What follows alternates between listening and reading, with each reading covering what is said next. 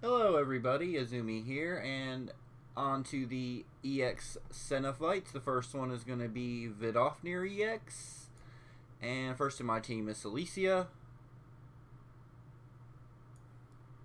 Alright, second is going to be Voxy.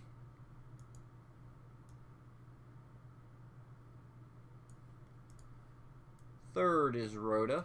Just, you know, all water water gear. Rhoda, Rhoda does all the healing. And last but not least is going to be Fully Awakened Marmalade. Alright, here we go. Alright, so um, Awakened Vidofnir, Awakened KFC, whatever you want to call him, is in the ranged row, is Beast, and is grounded. His action skill Flame Tornado does 140% fire magic attack damage and burn for 3 turns to the 3 farthest enemies, plus a 20% bonus damage against Jotun.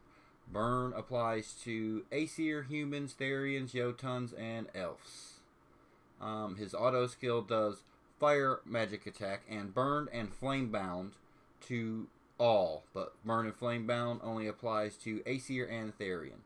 Also, he applies Abyss Veil Flames to all of its allies. And what that actually does is it increases the amount of damage they do and gives them a um, ups their fire resistance. And also lets them do a counter attack when they're hit by anything other than water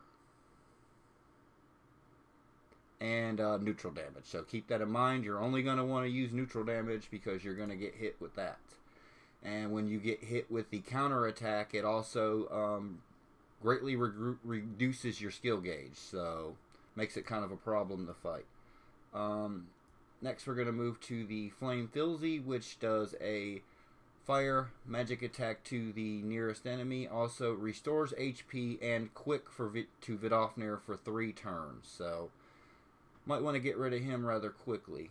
Um, also, the Flame Bird restores HP to itself and does a fire attack to the farthest row and grants an attack barrier to the back ally row.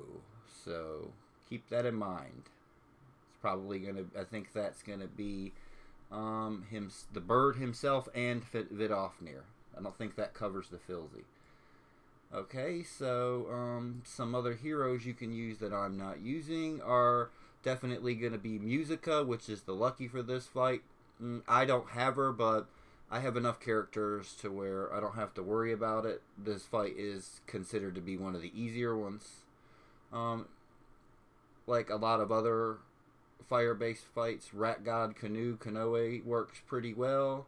Um, you could use Awakened Nautica, definitely Sorticia. Um, Summer DL works pretty well. Uh, Vindicator Gratius um, you can use Grace. A lot of different choices for this fight.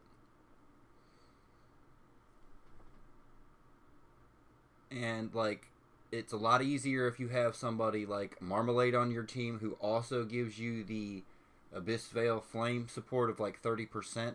So it, you know, it lets you do more damage to him in general while taking less damage. So it works pretty well.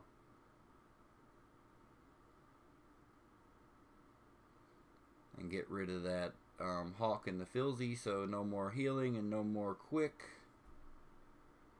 Hit him with some debuffs here, which Voxy does.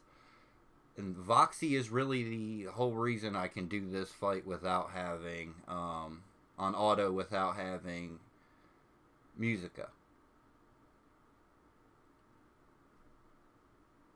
Voxy is um, really OP in this, so and a lot of other stuff too.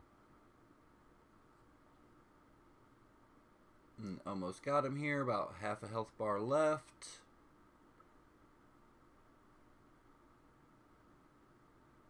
And of course, like I, um, you, Rhoda takes care of all the healing. It, it's it's it's plenty enough. You don't need to run any other healing gear. Um, if you don't have Rhoda, then you could use like Sorticia or something. She'll probably work pretty well, or Mavis. Well, Voxy's um, damage up to beast works really well. Um, you could use regular DL probably to get a little bit of um, damage up, but keep in mind she's going to get CC'd a little bit.